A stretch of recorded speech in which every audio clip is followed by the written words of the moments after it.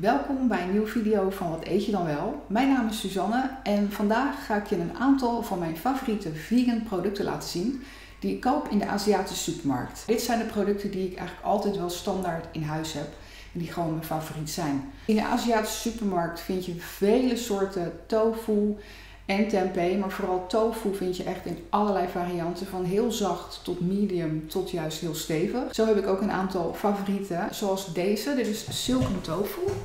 En dit is hele zachte tofu, wordt ook wel zijde tofu genoemd. En dit wordt vooral gebruikt om desserts te maken. Maar je kunt het ook stomen.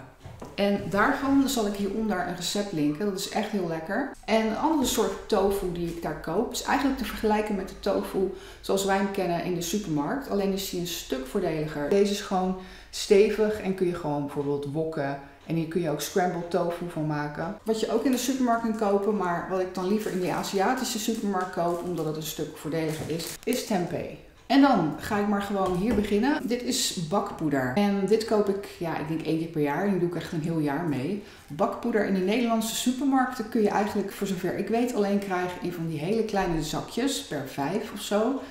En dat is natuurlijk zo op. En het is ontzettend veel verpakkingsmateriaal. Terwijl je bij de toko dit blik kunt kopen. En dat zit dan vol met bakpoeder. Het is sowieso een stuk voordeliger. Uh, en het scheelt heel veel verpakkingsmateriaal. En dan komen we aan bij een ingrediënt waar ik echt dol op ben. Dit is liquid smoke, oftewel vloeibare rook. En met dit goedje tover je bijvoorbeeld wortel om tot zalm. Ik gebruik het ook om bacon zogenaamd bacon mee te maken. En daarvan ga ik ook nog een video maken hoe je dat maakt. Maar tot die tijd kun je het recept hieronder vinden. Dit is heel geconcentreerd. Een flesje is een euro of 5, 6. Maar je hebt maar een heel klein beetje nodig. Dus het gaat heel lang mee. Het is heel geconcentreerd. Dus vloeibare rook is echt een aanrader om mee te experimenteren in de vegan keuken. Kocht ik zelf bij Amazing Oriental. En dan sojasaus. Ze hebben heel veel soorten sojasaus in de Aziatische supermarkt. En ik wist echt niet welke ik zou nemen. Want ehm, ik wilde gewoon een beetje een grote verpakking. Niet elke keer die kleine flesjes uit de supermarkt. En ik ben maar gegaan voor het schap wat elke keer het meest leeg was. Dus blijkbaar het populairst. En ik, volgens mij is het ook wel echt een heel populair merk. En hij is gewoon goed. Dit is gewoon basis sojasaus. Dus dit is, die heb ik eigenlijk altijd in huis. En dan heb ik tapioca meel. Deze heb je in een eerdere video kunnen zien. Waarin ik uh, zelf kaas maakte. Hiermee kun je bijvoorbeeld mozzarella zelf maken. Vegan uiteraard. Maar ook allerlei kaassauzen. En je kunt hier ook, uh, mocht je het kennen, van die bubble tea balletjes maken. Bubble tea is een drankje vaak op basis van thee. En dan zitten er onderin van die balletjes die je kunt, kunt kouwen. En um, die kun je hier ook mee maken. En dan een product wat ik uh, normaal in de supermarkt kocht. Maar omdat ik het de laatste tijd zoveel gebruik, heb ik maar gewoon een kilo pak van gekocht. Dit is kikkererwtenmeel. En dat gebruik ik om uh, wraps mee te maken. En die zijn super lekker. En dat kun je zien in de video die ik hieronder ga linken. Dus dit is veel voordeliger. Oh ja, en ik ga hier trouwens een masker mee maken. Dat wordt ook nog vervolgd met iets anders wat ik je zo laat zien. Kruiden en specerijen kunnen ook een stuk voordeliger zijn in de Aziatische supermarkt, omdat je ze in grotere verpakking koopt dan wij kennen in de gewone supermarkten. En zo koop ik zelf graag kaneel en kurkuma. En ik had nog geelwortel, oftewel turmeric. En dat gebruik ik voor, voornamelijk voor uh, golden uh, milk. Daarvan vind je het recept hieronder. Het is echt een aanrader. Maar ik gebruik het ook om, om dingen, uh, bijvoorbeeld kaas of mac and cheese, een gelige kleur te geven dan is dit echt ideaal. Maar ik ga hier ook een masker van maken, want het schijnt heel goed te zijn voor je huid om kikkererwtenmeel te mengen met kurkuma. Dus dat ben ik nog heel benieuwd naar. Dat, dat wordt nog vervolgd. En dan rijstvellen.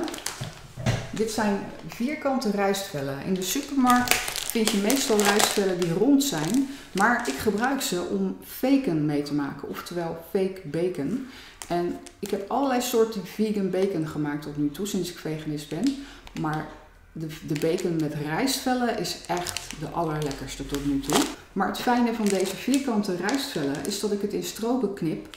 En als ik dat doe met ronde rijstvellen, hou ik altijd die zijkantjes over. Dus hiermee kan je echt gelijkmatige uh, stroken knippen. En dan de volgende, wat ik ook in bulk koop, ik heb het nu in een, uh, een lege augurkenpot uh, gedaan, is wat ik vaak gebruik, geraspte kokos. Ja, dit gaat over smoothies heen, in baksels, over toetjes, over ijs, noem maar op. En ook hier geldt weer voor. In de supermarkt heb je alleen maar van die kleine zakjes. En dat is prima als je het niet zo vaak gebruikt. Maar als je het vaker gebruikt, is het echt veel voordeliger om zo'n grote zak van volgens mij een kilo te kopen. Dus ja, ik heb het altijd wel op voorraad. En dan iets wat ik ook vaak gebruik is miso. En miso is gemaakt van gefermenteerde sojabonen. En dat klinkt misschien niet zo lekker, maar het is heel apart. Het is heel hartig, heel zoutig. En hiermee heb ik onlangs een hele lekkere vegan mac and cheese gemaakt. Dit was voor mij echt tot nu toe de beste vegan mac and cheese die ik heb gemaakt. En dat kwam echt door miso toe te voegen. Dit, dit geeft zo'n lekkere smaak eraan. En dan een van mijn favoriete vleesvervangers. Dit is TVP, oftewel Textured Vegetable Protein. En dat, dat klinkt een beetje vaag en het ziet er ook echt niet uit. Het ziet eruit als hondenbrokken. Gedroogd. Het is ook echt gedroogd. Maar dit is gemaakt van, uh, even kijken of ik het goed zeg, soja-eiwit en tarwezetmeel vooral. En um, dit is wat mij betreft echt een van de beste vleesvervangers. Het lijkt ontzettend op, vind ik, in mijn geheugen biefstuk. En ik heb het gebruikt voor de beef bourguignon. Die heb ik al meerdere malen gemaakt. Dat is echt mijn favoriet hier in huis. En dat, de basis daarvan is dit. En dit is, dit is zo'n goede vleesvervanger. Wat ik hier ook fijn aan vind, is dat het heel lang houdbaar is. En je hoeft het alleen maar te weken in heet water. Het is voordelig. Je hebt een hele grote zak en dan kun je echt dit, dit wel zeg maar op. Dus heel veel vleesvervanger voor weinig geld. Je kunt het gewoon in je voorraadkast hebben. Het is er ook in reepjes en die had ik van de week. Heb ik daar een uh, rendang mee gemaakt. Je kunt er ook sorma mee maken bijvoorbeeld. Zo van die kleine uh, reepjes, die heb je ook. Maar dit is absoluut mijn favoriet. Oh, dat was het eigenlijk alweer. Ja, dit waren mijn uh, favorieten uit de Aziatische supermarkt. Ik ben heel benieuwd of jij ook wel eens bij de Aziatische supermarkt komt. En of je daar ook nog vegan aanraders voor mij hebt. En voor andere mensen die dit lezen. Laat ze vooral achter hier in de comments. Nou, bedankt weer voor het kijken. Ik hoop dat je het leuk vond. Ik wel in ieder geval. En tot gauw. Doeg!